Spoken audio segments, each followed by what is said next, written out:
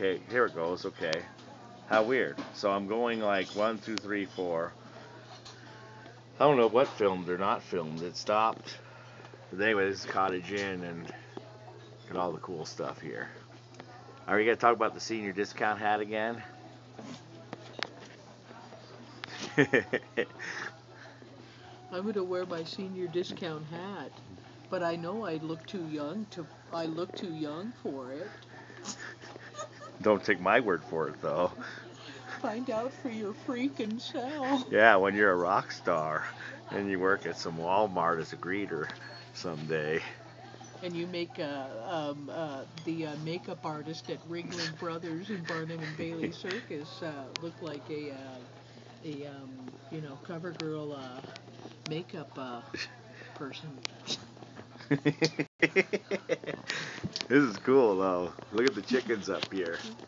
I don't know if this thing filmed last time, but now I sound like, oh, look at the flowers. Those are like Mama's flowers. And Mama would this, like that too. Look at this pot. I like this pot. My mom would like something like this. This is a cottage inn, and it's all totally uh, like 70s uh, country retro.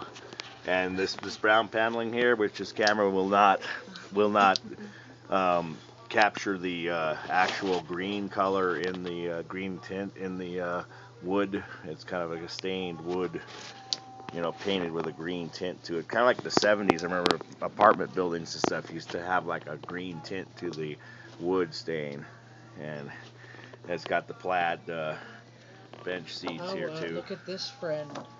Which one? Oh, oh yeah, the starburst. Yeah, yeah. This is pretty cool. This whole place is pretty cool.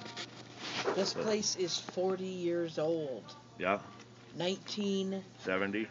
67 to 2007. Ooh. That's awesome. Well, the menu's three years old then. All right. Well, let's stop the film. Hopefully, I got it.